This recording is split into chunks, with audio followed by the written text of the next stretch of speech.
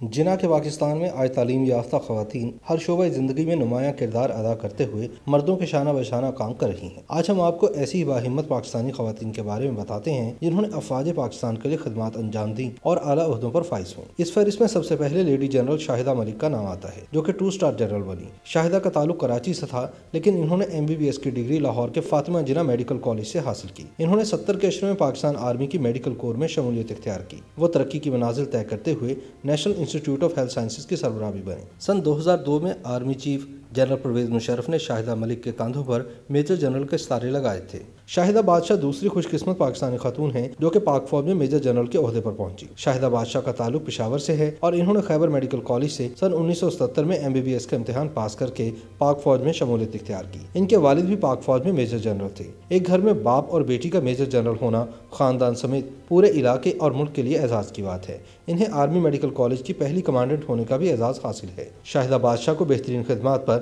ہلال امتیاز بھی عطا کیا گیا۔ یہ ایک حسن اتفاق ہے کہ پاک فوج میں اعلیٰ عہدے پر پہنچنے والی تیسری خاتون فوجی افسر کا نام بھی شاہدہ ہے۔ شاہدہ اکرم بھڑگڑی بھی کسی سے کم نہیں، جنہوں نے پاک فوج میں شمولیت حاصل کی اور آج وہ لیفٹنٹ کرنل کے عہدے پر کام کر رہی ہیں۔ ان کا تعلق بھی میڈیکل کورس سے ہے۔ کرنل شاہدہ اکرم بھڑگڑی کو یہ منفرد اعزاز بھی حاصل ہے کہ وہ صوبہ سندھ کی پہلی خاتون ہیں جو پاک فوج میں آفیسر بنی نگار جوہر وہ چوتھی خوش قسمت خاتون تھی جو میجر جنرل بنی وہ پاک فوج کے ان پچیس خوش قسمت بریگیڈیوں میں سے ایک تھیں جن کو army chief general Qamar Javed Bajwa کے حکم پر ترقی دے کر میجر جنرل کے رینک دیے گئے۔ میجر جنرل نگار کا تعلق خیبر پختونخوا کے علاقے سوابی سے ہے۔ ان کے والد صاحب کرنل قدیر بھی آئی ایس آئی کے لیے خدمات انجام دے چکے ہیں۔ نگار کے والدین تیس سال قبل ایک کار حادثے میں جان کی بازی ہار گئے تھے۔ آخر میں آپ کو یہ بھی بتاتے چلیں کہ ان باہمت خواتین نے تو اپنے مثبت اور تعمیری کردار سے ملک کا نام روشن کیا، لیکن خواتین کے لیے افواج پاکستان کے دروازے کھولنے کا کریڈٹ محترمہ رانا لیاقت علی خان کو جاتا ہے، جو پاکستان کی پہلی خاتون اول تھیں اور وزیر اعظم لیاقت علی خان کی اہلیت تھی انہوں نے سن انیس سو انچاس میں ویمن نیشنل گارڈ کی بنیاد رکھی، جسے فوجی تربیت بھی دی گئی۔ پاکستانی خواتین پر افواج پاکستان کے دروازے